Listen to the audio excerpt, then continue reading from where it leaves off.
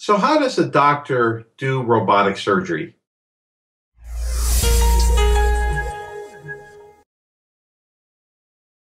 Well, typically a patient is brought into the operating room and positioned and you're put asleep. Once you're asleep, essentially the surgeon and his assistant will make some small incisions on your abdomen and fill your belly up with carbon dioxide gas.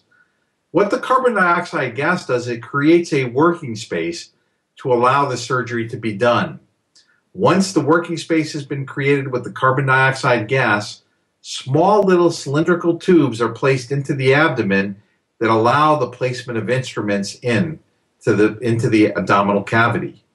Once those instruments have been placed in, a robot is then docked with these cylindrical tubes, and one, as a surgeon, can go over to the console and maneuver these instruments using your hands and feet. Now, what's interesting about the robot is the robot is a master slave type of arrangement. In other words, the master sits at the control panel and he can move his hands in different directions which will control the movements of the instruments within the abdominal cavity. The feet are actually used in robotic surgery for a number of things.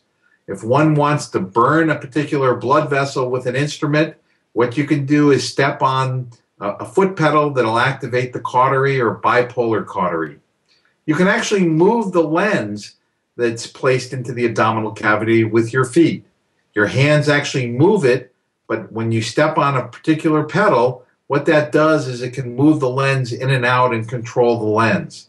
So a robotic surgeon not only has to be facile with his hands, but he uses his feet during the surgical procedure.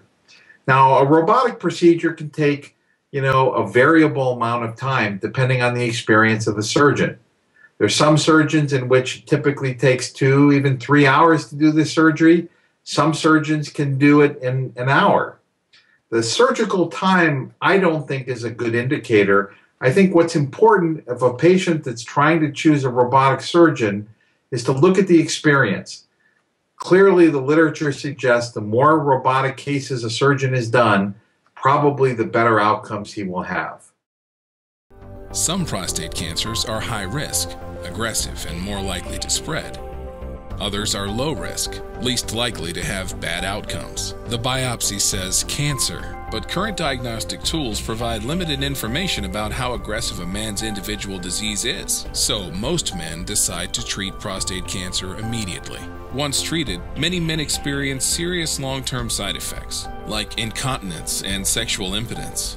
Immediate treatment isn't always needed, but right now, a man can't be sure if his cancer is the kind that is likely to require treatment or if he's okay to wait for now.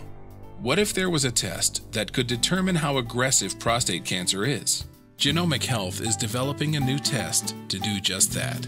By reviewing the underlying biology of the tumor and using genes from multiple biologic pathways, the test can predict the aggressiveness of prostate cancer when diagnosed, allowing a man to make a more informed treatment decision with confidence taking care of himself with more information and greater peace of mind.